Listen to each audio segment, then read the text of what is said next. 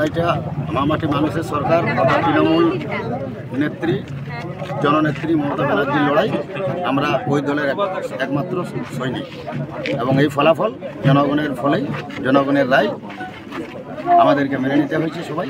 জনগণের রায়কে প্রাধান্য দিয়ে আগামী পাঁচ বছর যে সভাপতির পদে চেয়ারে বসবেন তাকে অনুরোধ করব দলের সিস্টেমকে মান্যতা দিয়ে মানুষের পাশে থেকে উন্নয়নের কাজকে আপনার নাম? নরেন্দ্র মাহাতো। আগামী পাঁচ বছর মানুষের জন্য কাজ করা।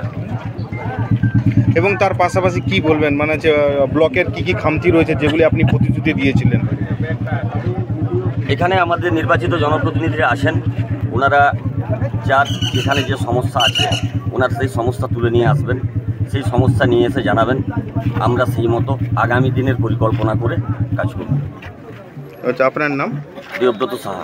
আচ্ছা আজকের এই যে আপনি যে যে পঞ্চায়েত সমিতির সভাপতি হলেন এই জয় কাকে উৎসর্গ করবেন? এই জয় জনগণকে উৎসর্গ করব। মামাটি মানুষের সরকারের নেত্রী মমতা ব্যানার্জিকে উৎসর্গ করব।